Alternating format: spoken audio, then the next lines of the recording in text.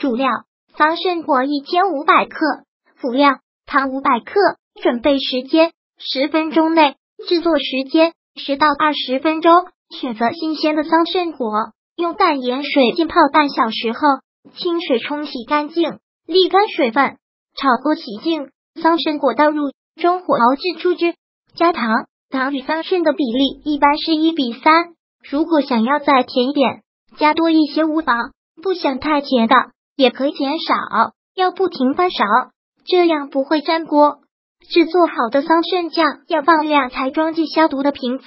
由于加了很多糖，放冰箱冷藏可以放很久。要吃的时候拿出来即可。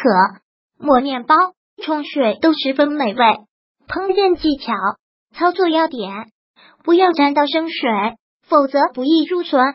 如果喜欢本视频，请分享并订阅本频道，别忘了按赞哦。